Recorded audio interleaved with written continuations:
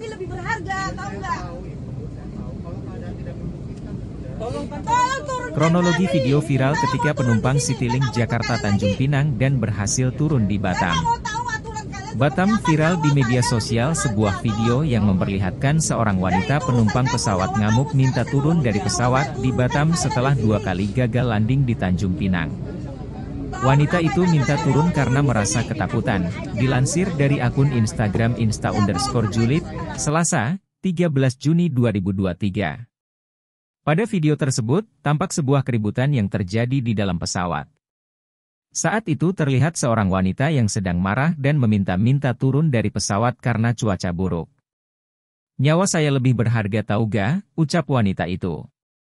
Head of Corporate Secretary CSR Division PT Citylink Indonesia Haza Ibnu Rashad mengatakan, peristiwa itu terjadi di penerbangan Citylink KG 974 rute Jakarta Tanjung Pinang pada Minggu, 11 Juni 2023, dilansir kompas.com.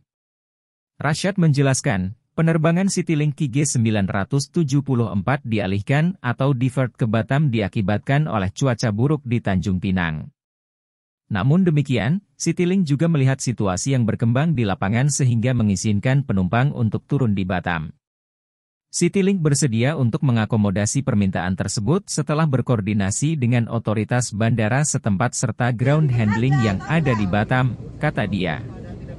Rashad mengungkapkan, sebagian penumpang telah turun dari pesawat dan sebagian lagi telah diberangkatkan kembali ke Tanjung Pinang pada hari yang sama pukul 14.45 waktu setempat.